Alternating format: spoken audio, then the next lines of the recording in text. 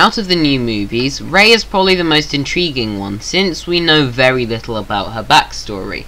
So today, I'm going to break down who I think her parents are. Now there's three main theories for who her parents are, and you can guess that there's going to be a lot of spoilers in this video, so if you haven't seen Force Awakens, then you ought to, because I'm going to spoil all this movie.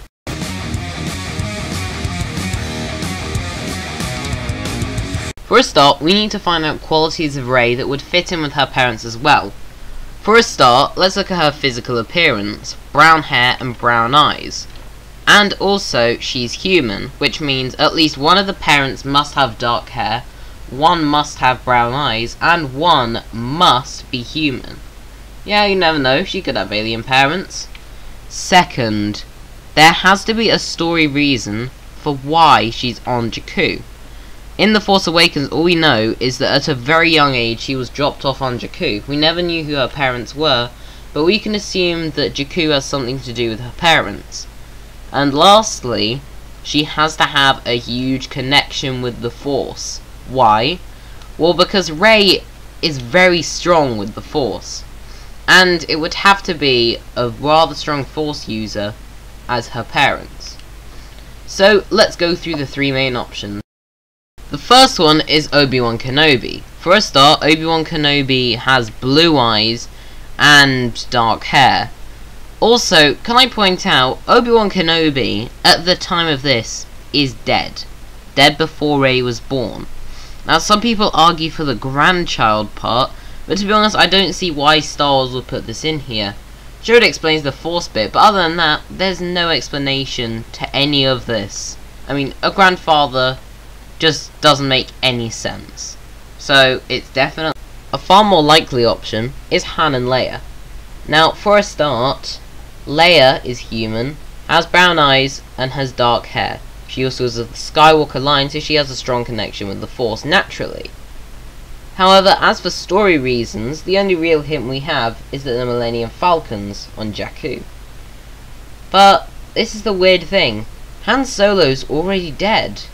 It'd be weird to reveal that Han's her dad after he's already died.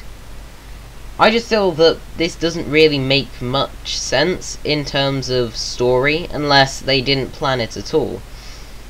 However, I'm guessing they have planned this all out, so I don't really think that these two are Rey's parents, especially since they've already had one child. This is my personal opinion on who Rey's father is, Luke.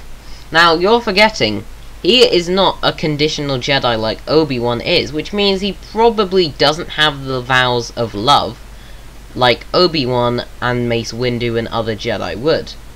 So, if Luke fell in love, it would make sense. And since we don't actually know who the mother is, it could be that they had dark hair and brown eyes. But, however, Luke does have dark-ish hair, and also he is human. So, that's very close there.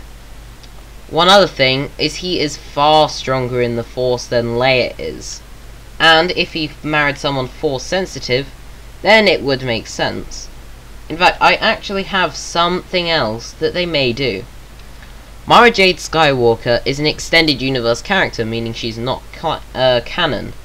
However, they did have children with each other in various comics and novels.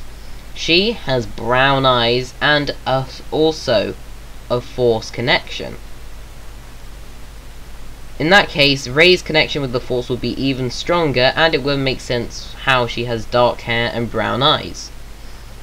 As for story reasons, it makes perfect sense. The fact is, we still don't know who the mother is, so it could be she was killed by Ben Solo. Since Luke felt bad about Ben Solo, he went into hiding, and in doing so, he left his daughter on hiding.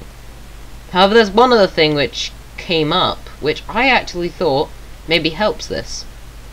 An old ally of the Resistance, named Lor San Tekka, lives also on Jakku, and his village is reasonably close to where Rey lives. Coincidence? I think not. Lor San Tekka is a rather important character in this movie, for only being in the first two or three minutes. Yeah, not very impressive for Max von Sydow. I mean, why else would a friend of Luke's be on the planet that Rey is, a Force-sensitive character who uses Luke's lightsaber? If you don't know, Luke's blue lightsaber was also used by Anakin Skywalker, so if it's passed down from generations, it would make sense. Anyway, this is my personal opinion. You could believe whatever you want to believe. Maybe she isn't Luke's daughter, maybe she or Obi-Wan Kenobi and someone he met while in hiding. Or maybe it was Ezra from Star Wars Rebels, or Ahsoka from the show of the same name. Or maybe Snoke, The Force, Jar Jar, or maybe she's simply a new character who we just don't know a lot about yet. The fact is, the earliest we'll hear about it is next year, and the latest 2019. So there's no point in making theory videos right now, but this is just my current belief on it. In the meantime, let's get hyped for Civil War, Rogue One, Rebels, and whatever else you want to get hyped for. Hope you guys enjoy this video, and if you did, be sure to subscribe, like, and comment, and I will see you guys later. Bye-bye!